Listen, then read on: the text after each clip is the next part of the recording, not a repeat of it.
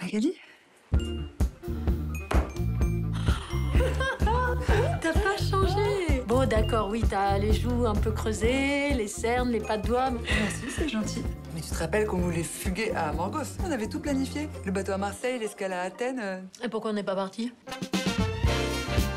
La petite Blandine Bouvier est attendue par sa maman au comptoir information. C'est elle, la petite?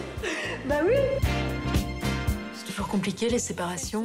Mais après ce voyage, tu te rappelleras même plus de son nom.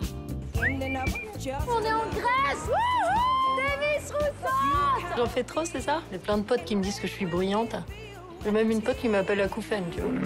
Mais là, t'as payé pourquoi Pour le premier arrêt du bateau. Et puis nous, on descend plus tard. Ah, d'accord, donc c'est une arnaque. Petite.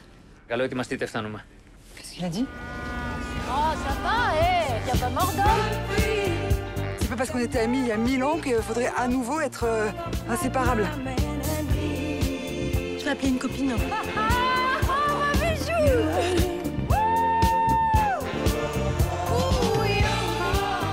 Tu vas accepter ce divorce et tu vas te booster, ok?